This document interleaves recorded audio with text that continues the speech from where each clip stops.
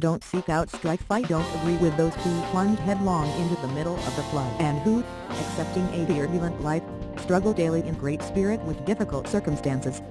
The wise person will endure that, but won't choose it choosing to be at peace, rather than at war. Seneca, Moral Letters, 28.17 has become a cliché to quote Theodore Roosevelt's man in the arena speech, which line is he on whose face is marred by dust and sweat and blood, who strives valiantly. Compared with the critic who sits on the sidelines. Roosevelt gave that speech shortly after he left office, at the height of his popularity. In a few years, he would run against his former protege in an attempt to retake the White House, losing badly and nearly assassinated in the process.